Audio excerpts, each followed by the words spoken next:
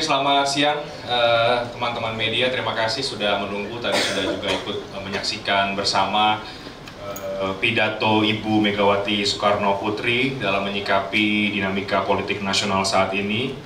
Eh, suara hati nurani ya, seperti yang tadi sudah kita dengarkan juga ada beberapa tanggapan Ibu terkait situasi politik saat ini berkaitan dengan putusan MK dan juga MK-MK terakhir dan situasi politik dan juga demokrasi menyikapi dan meneruskan kembali pernyataan atau pidato dari Ibu Megawati Soekarno Putri Media Center TPN Ganjar Mahfud kita akan menyampaikan keterangan juga untuk itu eh, bersama dengan Mas Ahmad Basarah Ketua DPP PD Perjuangan dan juga Mas Andi Wijayanto eh, Deputi Politik 5.0 dari eh, TPN Ganjar Mahfud.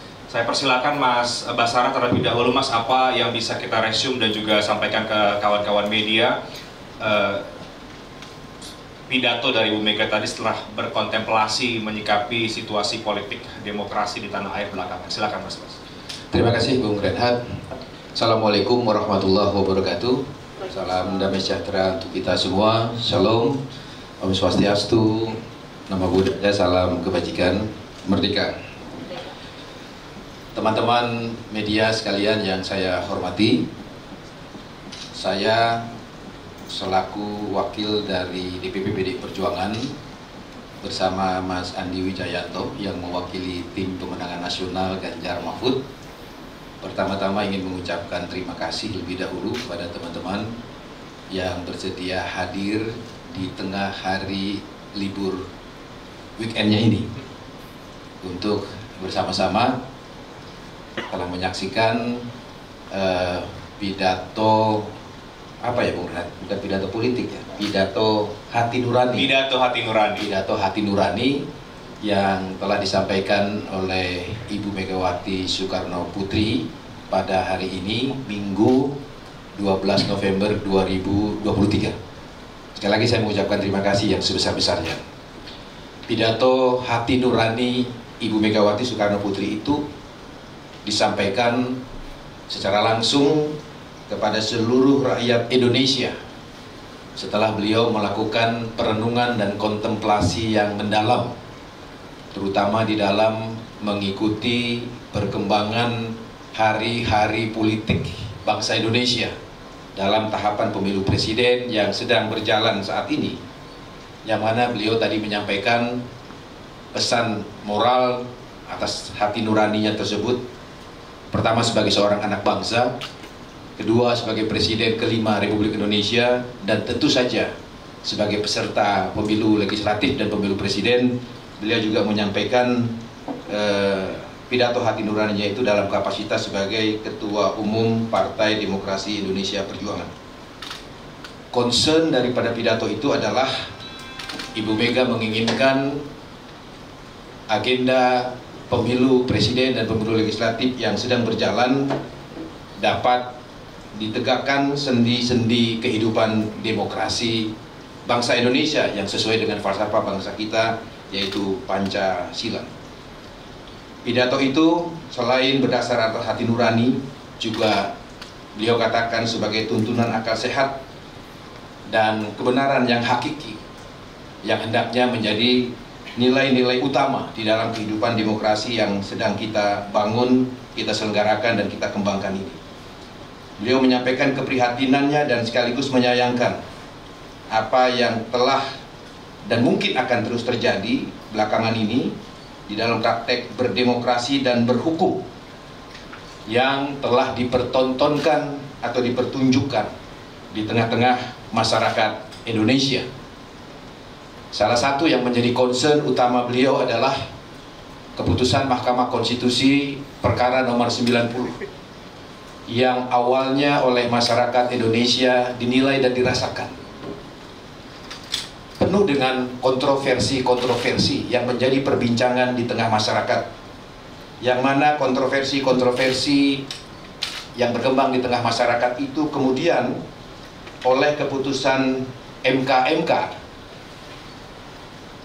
dalam keputusannya beberapa waktu lalu telah dikatakan telah telah jadi pelanggaran etik yang berat sehingga diambil keputusan untuk memberhentikan Ketua Mahkamah Konstitusi dari jabatannya. Unsur kolusi dan nepotisme itulah yang sebenarnya menjadi praktek demokrasi yang tidak sesuai dengan semangat reformasi yang telah ditegaskan oleh Ibu Mega bahwa reformasi 98 muncul salah satunya akibat praktek korupsi, kolusi, dan nepotisme sehingga harus keluar keputusan MPR terkait dengan praktek-praktek KKN yang harus dihentikan di era reformasi ini. Bu Mega mengatakan hukum sebagai peranata masyarakat harusnya menjadi pedoman dalam kehidupan bermasyarakat, berbangsa, dan bernegara kita. Konstitusi sebagai visi besar bangsa Indonesia. Dia didesain pertama kali oleh para founding fathers dan founding mothers ketika merumuskan dan menyepakati Undang-Undang Dasar 1945 sebagai konstitusi bangsa Indonesia merdeka hendaknya selalu didedikasikan untuk kepentingan bangsa dan negara. Begitu juga hukum. Dia harus didedikasikan untuk kepentingan bangsa dan negara, bukan untuk kepentingan orang per orang, kelompok maupun golongan. Mahkamah Konstitusi ketika dibentuk Semangatnya adalah sebagai the guardian of ideology, sebagai penjaga nilai-nilai ideologi Pancasila. Dia juga ditetapkan sebagai lembaga negara yang bersifat constitutional body yang wewenangnya diberikan oleh Undang-Undang Dasar sebagai the guardian of constitution, penjaga konstitusi Indonesia, penjaga roh konstitusi Indonesia. Oleh karena itu, satu-satunya penyelenggara negara yang oleh konstitusi diberi predikat sebagai negarawan. Saya ulangi, satu-satunya penyelenggara negara yang oleh konstitusi diberikan predikat sebagai negarawan hanyalah kepada hakim-hakim Mahkamah Konstitusi. Oleh karena itu, sudah menjadi tanggung jawab moral dan konstitusional para hakim konstitusi untuk menjaga marwah ideologi bangsa dan marwah konstitusi bangsa Indonesia. Dan kemudian Bu Mega mengingatkan kepada rakyat Indonesia bahwa bangsa Indonesia adalah bangsa pejuang. Berjuang sejak merebut kemerdekaan dari tangan kolonialisme asing pada waktu itu. Berjuang mempertahankan kemerdekaan Indonesia dari agresi militer asing yang ingin menggagalkan kemerdekaan bangsa Indonesia dan termasuk berjuang untuk menegakkan, mewujudkan cita-cita proklamasi bangsa Indonesia itu. Maka dalam pidato hati nuraninya itu Ibu Mega mengajak rakyat Indonesia untuk terus mengawal agenda demokrasi bangsa yang tahapan-tahapannya sedang berlangsung ini dan mengajak bangsa Indonesia, rakyat Indonesia keseluruhannya untuk berani berbicara menyuarakan hati nurani rakyat Indonesia itu sendiri demi tegaknya dan praktek demokrasi bangsa Indonesia yang diharapkan betul-betul dapat menghasilkan pemimpin-pemimpin bangsa Indonesia yang dapat melanjutkan cita-cita para pendiri bangsa Indonesia. Saya kira itulah beberapa resume yang bisa saya catat dari pidato yang telah disampaikan secara langsung kepada rakyat Indonesia oleh Ibu Megawati Soekarno Putri dan mudah-mudahan pidato Ibu Mega tersebut menjadi pedoman bagi kita semua, termasuk kami keluarga besar PD Perjuangan dan tim pemenangan nasional Ganjar Mahfud agar di dalam mengikuti pesta demokrasi rakyat ini betul-betul berpegang teguh pada nilai-nilai Pancasila bangsa Indonesia, pada nilai-nilai konstitusi bangsa Indonesia, nilai-nilai hukum dan di atas semua itu kita memegang etika kehidupan berbangsa dan bernegara Indonesia. Saya kira itu teman-teman sekalian beberapa catatan uh, kecil yang dapat saya sampaikan dari pidato Ibu Megawati Soekarno Putri yang sama-sama baru kita dengarkan. Terima kasih. Saya persilakan Mas Andi Wijayanto dalam kapasitas sebagai pimpinan tim pemenangan nasional untuk menambahkan keterangan versi. Uh, terima kasih Mas Basara. Uh, kami di TPN memang berminggu-minggu merasakan suasananya mendung. Lalu hari ini kami dikoreksi oleh Ibu Mega ketika Ibu mengatakan suasananya bukan lagi mendung tapi gelap demokrasi yang gelap uh, karena itu uh, kami akan mengikuti apa yang tadi menjadi arahan Ibu Mega bagaimana menggunakan keputusan dari MK MK sebagai titik awal untuk membuat demokrasi cerah lagi. Tadi Ibu Mega menceritakan bagaimana dengan mandat perubahan ketiga Undang-Undang Dasar 1945, Ibu Mega memimpin sendiri pembentukan Mahkamah Konstitusi yang harusnya menjadi penjaga roh konstitusi kita. Kalau saya mau sederhanakan, hari ini sampai nanti Pilpres 14 Februari 2024 kita seharusnya sedang bersemangat, bersiap-siap untuk melakukan pertandingan sepak bola untuk mencari kesebelasan yang terbaik. Tapi hari ini kami ragu-ragu untuk mempersiapkan kesebelasan yang akan bermain karena dari awal kami menyadari wasitnya tidak akan memimpin pertandingan itu dengan melihat dinamika di lapangan, tapi wasitnya akan terus-menerus menoleh ke VIP box untuk menunggu arahan apa yang harus dilakukan selama pertandingan. Nah, kalau itu yang terjadi, maka pertandingannya akan menjadi pertandingan yang sangat tidak fair dan pada akhirnya penonton sepak bola, penggemar sepak bola pasti tahu keanehan-keanehan, anomali-anomali yang muncul selama pertandingan tersebut. Tentunya kita menginginkan agar pemilu 2024 ini seperti tadi analogi saya tentang pertandingan bola akan berlangsung dengan fair, dengan kompetisi yang sehat dan kami berharap di TPN seperti yang tadi diarahkan oleh Ibu Mega agar keputusan MK MK tentang pelanggaran etika berat yang dilakukan uh, oleh hakim di Mahkamah Konstitusi itu menjadi titik awal bagi kita untuk menghentikan rekayasa hukum, untuk menghentikan manipulasi hukum, yang untuk memastikan nepotisme, kolusi dan korupsi yang dulu kita bongkar dengan gerakan reformasi tidak kemudian muncul lagi justru di satu lembaga negara yang kita jadikan, kita harapkan jadi sebagai penjaga ruh konstitusi. Itu yang bisa saya tambahkan.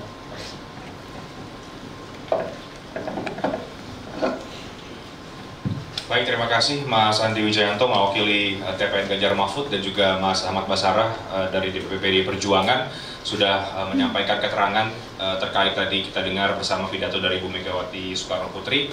Saya berikan kesempatan bagi rekan-rekan media untuk bertanya CNN Indonesia, Kompas TV, .com, CNN, Detik, Metro TV, lima ya sekaligus ya. Oke, silakan. Mas Erik diatur mikrofonnya. Siapa dulu? .com portal cnnindonesia.com silakan.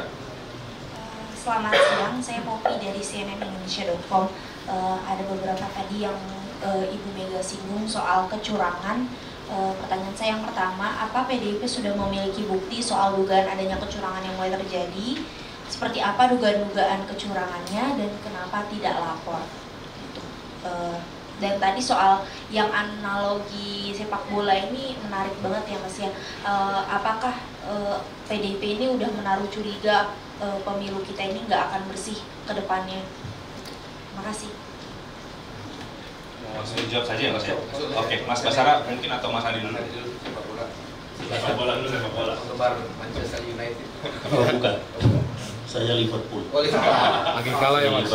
Di happy juga enggak tentang kondisi hari ini. Jadi selalu agak happy kalau MU kalah.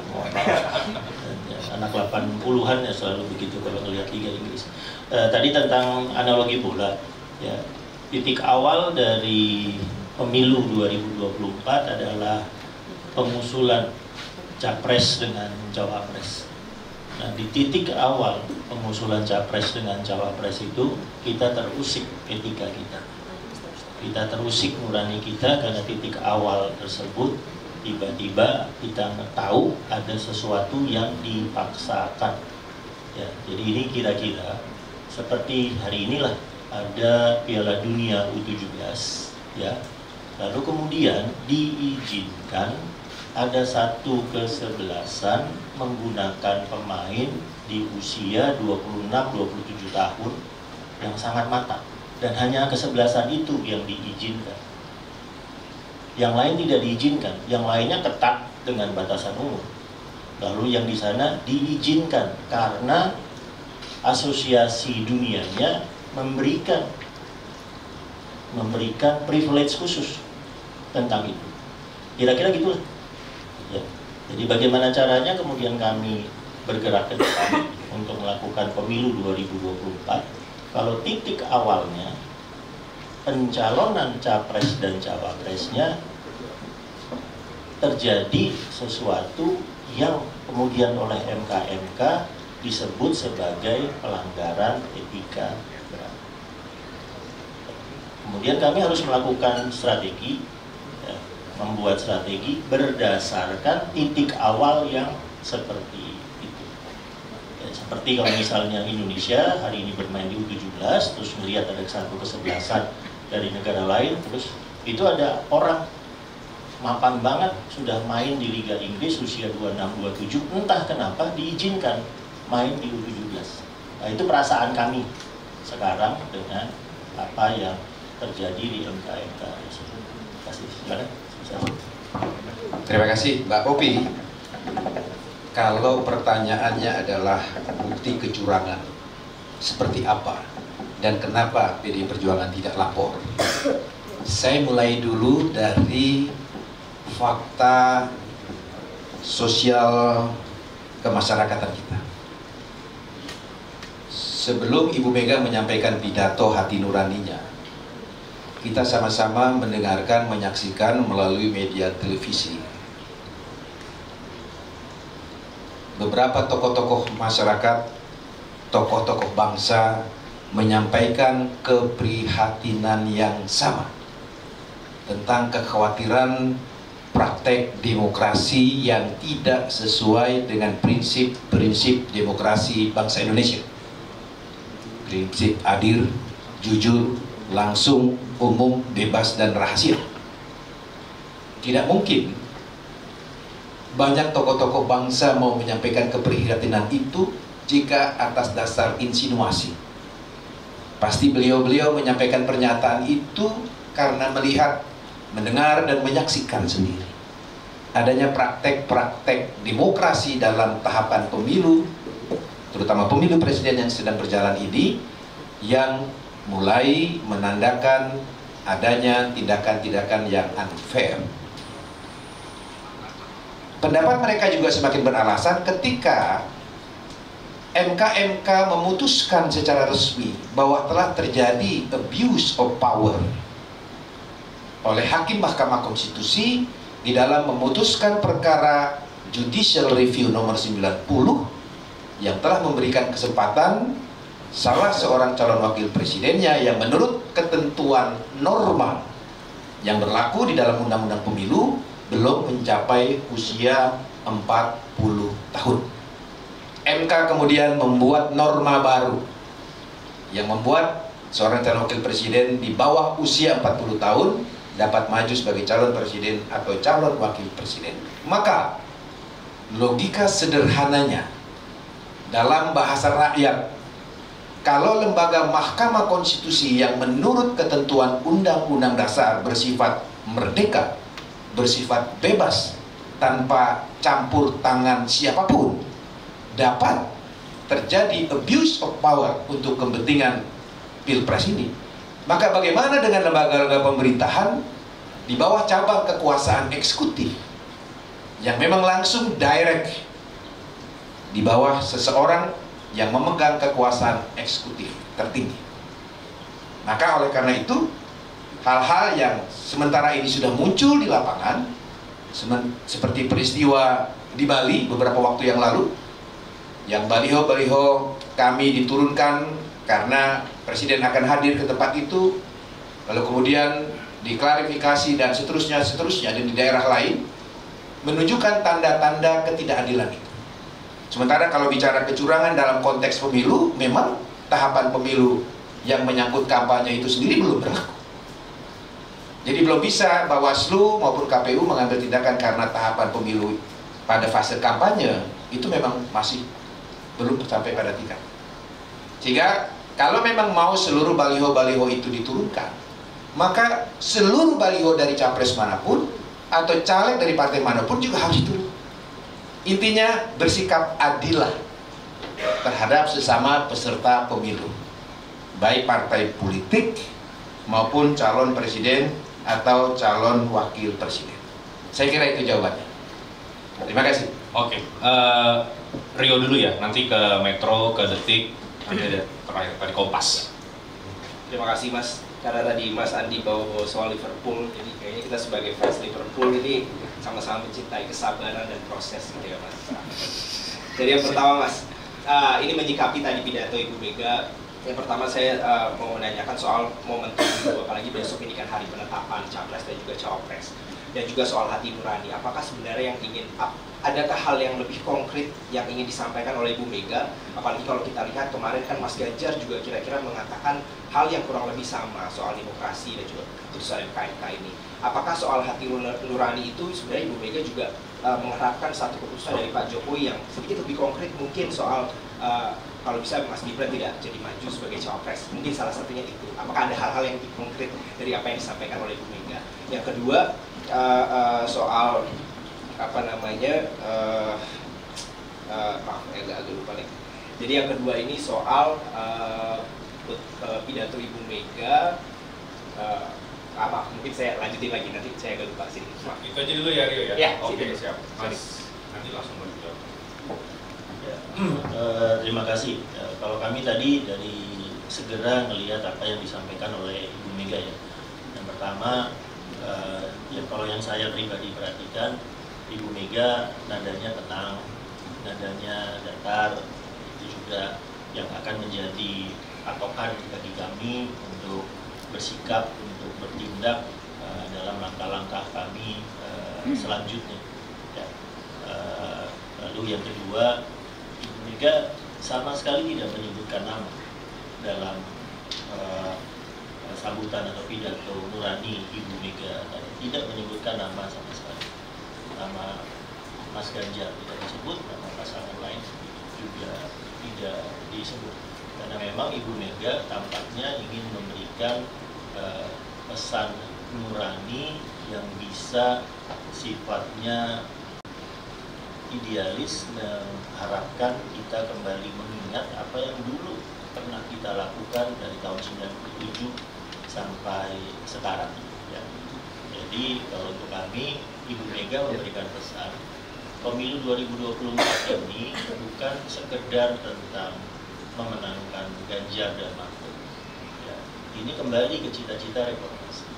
Harus menguatkan lagi cita-cita reformasi. Ya, Ibu Mega kalau tadi dilihat menarik biasanya kita menyingkatnya KKN tapi Ibu Mega tadi dalam dalam pidato nuraninya menyebutnya NKK nepotisme, korupsi dan korupsi karena yang sekarang mengganggu kita itu adalah dimulai dengan nepotisme yang mengganggu kita. Sehingga Ibu Mega tadi berkali-kali saya perhatikan menyebutnya nepotisme, korupsi dan korupsi itu yang, yang ada yang tadi saya sebut. Titik awal dari perjalanan demokrasi 2024 itu di penetapan atau pengusulan calon dan di situlah nepotisme itu terlihat brutal. Yang kelihatan brutal. Nepotisme yang brutal itu disertai dengan yang tadi Ibu Mega sampaikan manipulasi hukum. Ya. nah di titik itu Ibu Mega tadi saya melihat menggunakan nada yang agak keras. Ketika Ibu Mega mengatakan stop, tidak lagi, tidak boleh ada lagi rekayasa hukum. Begitu hukum itu diombang ambingkan, kembali ke analogi bola, kita kehilangan seorang wasit yang bisa mengendalikan 22 pemain di lapangan. Kita kehilangan tim wasit yang bisa bilang ke kita ini offside atau tidak, ini pelanggaran atau tidak. Begitu kita kehilangan tim wasit itu pada dasarnya pertandingannya tidak akan menjadi pertandingan yang fair.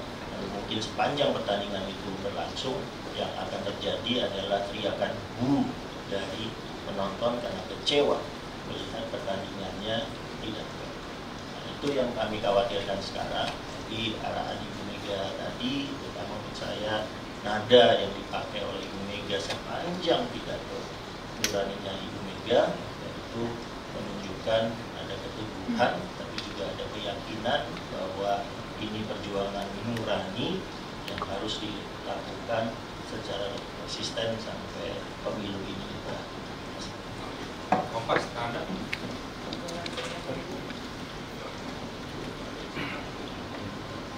Selamat sore Mas Bas dan juga Mas Andi. Uh, ini saya ingat apa yang mau ditanyakan Rio, jadi saya tanyakan juga uh, di pertanyaan selanjutnya. Uh, ini ada dua pertanyaan dari saya. Yang pertama tadi mungkin pertanyaan Rio dulu ini soal uh, manuver-manuvernya Pak Jokowi. Memang kalau kita lihat tadi pidatonya sama sekali tidak menyebutkan nama ya tapi kita tahu beberapa polemik yang terjadi, bahasa-bahasa politik, gestur-gestur politik yang terjadi belakangan ini, ya tidak jauh gitu berkutat dengan manuver dari Pak Jokowi sendiri dan juga keluarganya. Uh, bahkan untuk PDI Perjuangan sendiri mungkin ini kedua kalinya ya, uh, setelah sempat Gibran, kemudian Mas Bobi juga ikut-ikutan gitu, uh, memberikan dukungan dan sampai sekarang juga setahu saya terakhir menyatakan di Medan belum mengembalikan KTA dan keluar dari uh, kader PDI Perjuangan. Nah, apakah sampai dengan saat ini kan kita tahu Pak Jokowi ini juga masih menjadi kader PDI Perjuangan. Apakah tidak ada komunikasi secara langsung atau teguran? Karena kalau kita lihat kan um, apa namanya tadi disampaikan ibu keresahan ini ke publik. Apa uh, tadi juga Mas Awe berkali-kali ngomongin soal wasit gitu. Apakah tidak ada komunikasi ataupun juga momentum di mana ibu sebagai ketua umum partai ini bicara pada kadernya spes, uh, spesifik begitu ya Pak Jokowi uh, bahwa apa yang sudah dilakukan manuver-manuver politik yang uh, terjadi sampai dengan hari ini ini bahaya loh untuk demokrasi dan juga tadi semangat reformasi uh, dan itu juga kan merupakan prerogatif juga dari ketua umum ya. Itu satu untuk Mas Bas kemudian yang uh, kedua untuk Mas Awe ini berkaitan juga karena Mas Awe uh, fokus juga soal pertahanan dan lain sebagainya. Kita tahu di tingkat PJ-PJ ini banyak sekali ODJ-nya, orang dekat Jokowi begitu ya, pengganti-pengganti uh, uh, kepala daerah yang sekarang sudah off. Ini banyak orang dekat Jokowi. Kemudian juga ada beberapa kemarin kita tahu balik kandang banteng, tapi begitu diganti Wayan Koster ini kemudian langsung ada penurunan-penurunan baliho. Nah, apa yang akan kemudian dilakukan secara uh, real, konkret oleh TPN mengingat uh, adanya ya dalam tanda kutip tantangan-tantangan ini begitu. Kalau memang wasitnya misalnya tidak clear, uh, tidak uh, bisa netral, padahal itu juga pesan yang diulang oleh Pak Jokowi berkali-kali termasuk uh, saat makan siang bersama tiga kandidat, apa yang akan dilakukan TPN terkait dengan hal itu? Mas Bas terlebih dahulu Mas. Udah janjian mereka berdua. Sebelahan Mas. Baik, Nanda dan Rio dan teman-teman sekalian. Pertama, saya ingin menjelaskan dan menegaskan kembali cara Bu Mega berpolitik. Beliau adalah tokoh bangsa kita yang di dalam berpolitik memegang teguh prinsip-prinsip kehidupan berbangsa dan bernegara. Salah satu prinsip kehidupan berbangsa dan bernegara kita adalah kita menganut prinsip demokrasi dan nomokrasi, berdemokrasi dan berhukum.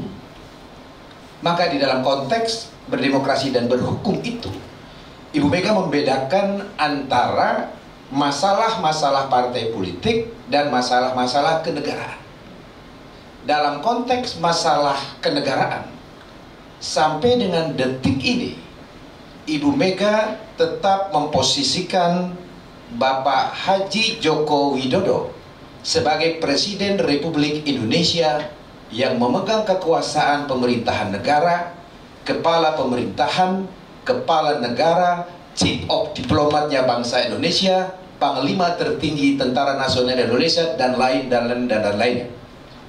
Maka di dalam konteks itu, di tengah hiruk pikuk dan dinamika politik pilpres yang rakyat sudah bisa membaca, mendengar dan merasakannya, untuk tidak saya melakukan ucapan yang bersifat drama politik di hadapan rakyat, maka sampai dengan detik ini Bu Mega menghormati Pak Jokowi sebagai Presiden Republik Indonesia dan melarang kader-kader PDI Perjuangan siapa pun dia untuk melakukan tindakan-tindakan, perkataan-perkataan, ucapan-ucapan yang menyerang kewibawaan Pak Jokowi sebagai seorang presiden.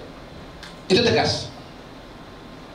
Bahkan teman-teman tahu bagaimana Ibu Mega sambil menangis membela Pak Jokowi ketika ada warga negara Indonesia yang mencaci maki Pak Jokowi dengan perkataan-perkataan yang tidak patut didengar oleh rakyat Indonesia sendiri.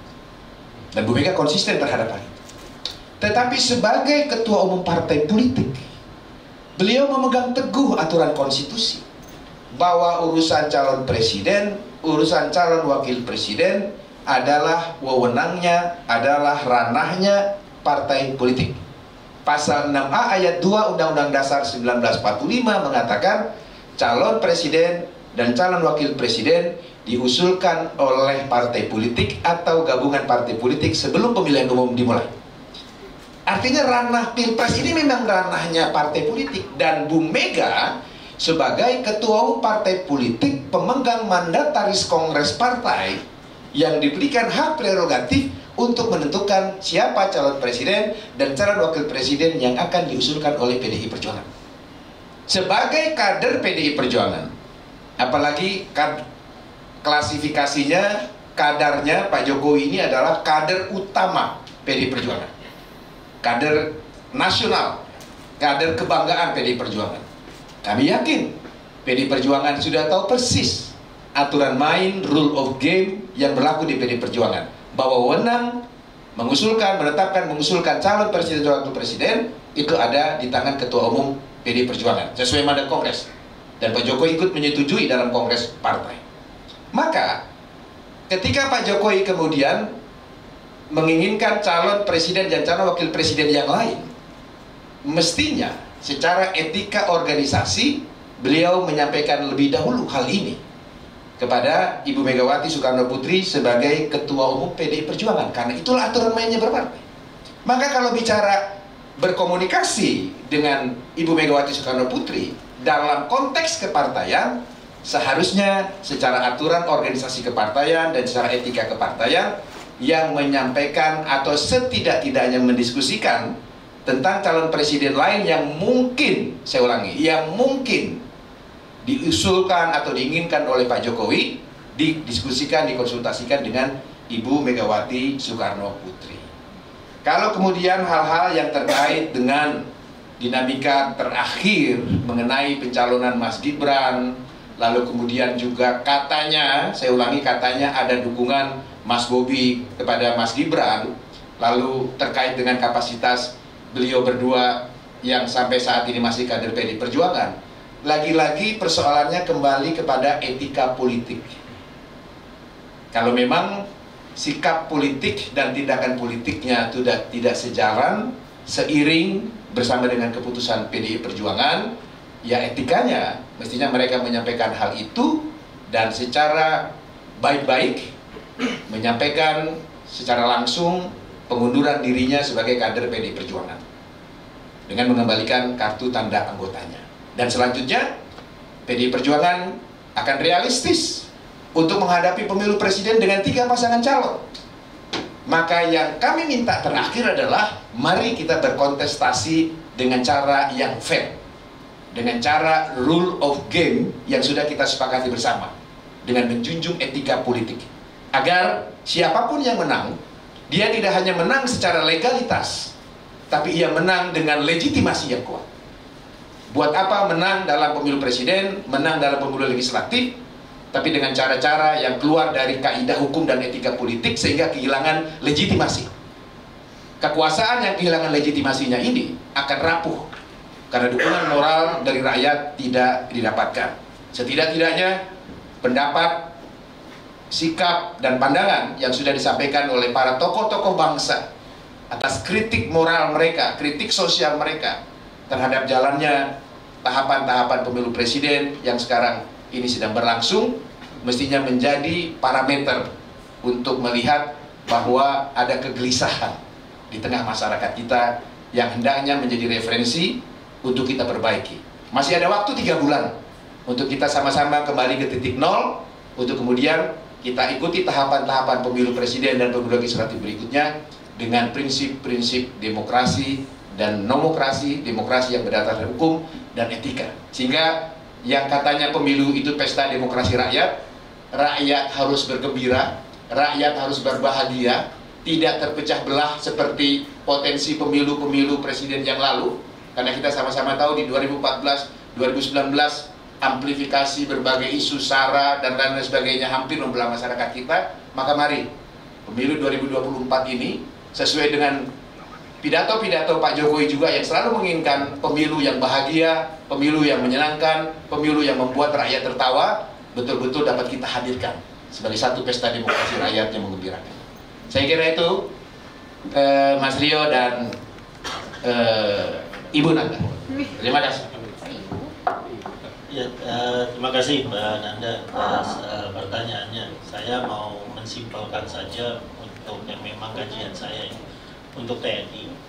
Uh, TNI itu diatur dalam pasal 2 Undang-Undang TNI, pasal 39 Undang-Undang TNI. TNI tidak boleh berpolitik praktis. Ditegaskan kembali dalam Undang-Undang Pemilu, TNI bersama Polri, bersama ASN, bersama komisaris BUMN, direksi BUMN juga tidak boleh berpolitik praktis. Ya. Atasan harus tahu bahwa undang-undangnya menyatakan di pasal 2 Undang-Undang TNI itu ditempatkan sebagai jati diri TNI sebagai siapa itu TNI itu karakter TNI sebagai tentara profesional tidak berpolitik praktis.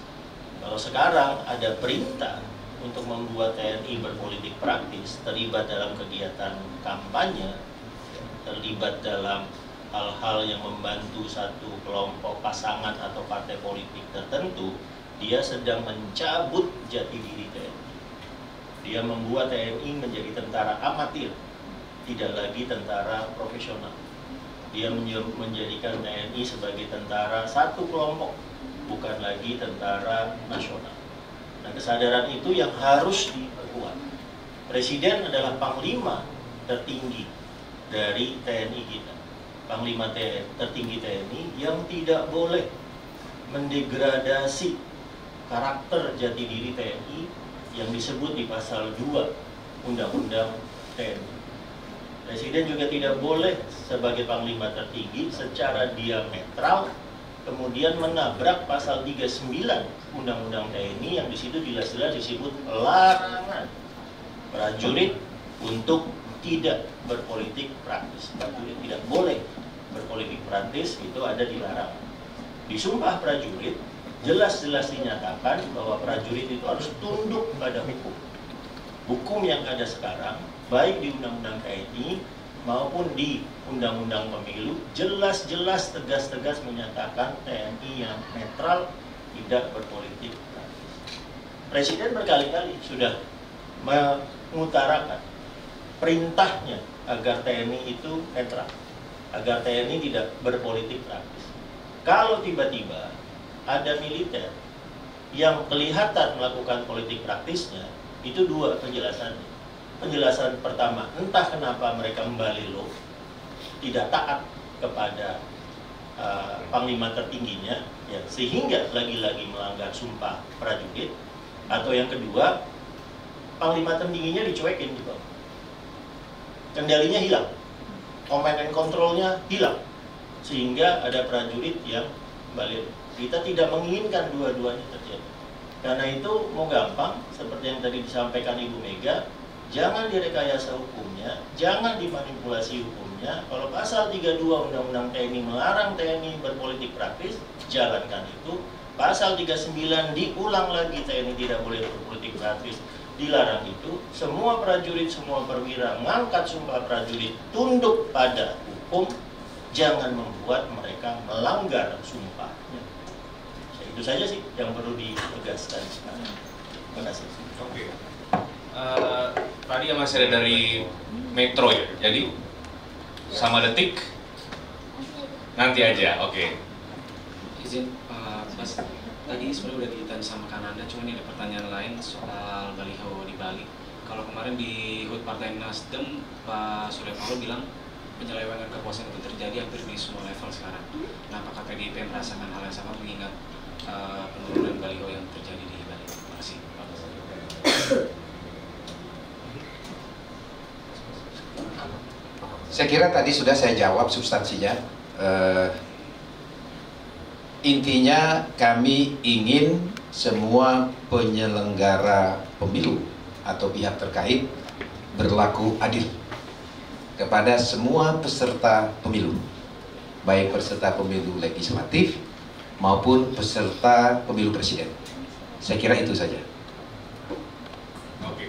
Cukup ya teman-teman. Kalau ada yang mau doorstop lagi nanti di depan. Oke, ada nanti silakan nanti di depan setelah ini. Tapi saya tutup eh, konferensi persnya. Terima kasih Mungkin banyak. ada hal satu lagi Mas Silakan, Mas. Ada satu hal yang tadi saya kira perlu saya garis bawahi dari pidato hati nurani Bu Mega. Selain beliau mengajak rakyat Indonesia untuk berani bersuara, menyampaikan hati nuraninya dengan politik kebenarannya, yang juga tidak kalah pentingnya adalah Bu Mega mengajak bangsa Indonesia untuk senantiasa menjaga persatuan, keutuhan, persaudaraan bangsa Indonesia. Pemilu ini hanya lima tahun sekali, tetapi bangsa Indonesia harus hidup sepanjang masa. Jadi kata kunci persatuan nasional itu adalah hal yang juga sangat penting ketika kita ingin menyuarakan demokrasi yang berkualitas, demokrasi yang substantif, demokrasi yang jujur, adil, dan juga damai bagi rakyat Indonesia. Baik. Terima kasih. Jadi mengajak rakyat berani bicara tapi juga menjaga persatuan itu juga penting. Terima kasih banyak Mas Ahmad Basara, Ketua DPP PD Perjuangan. Terima kasih Mas Andi Wijayanto, Deputi Politik 5.0 dari TPN Ganjar Mahfud. Saya tutup konferensi persnya rekan-rekan. Terima kasih banyak. Assalamualaikum warahmatullahi wabarakatuh. Selamat sore.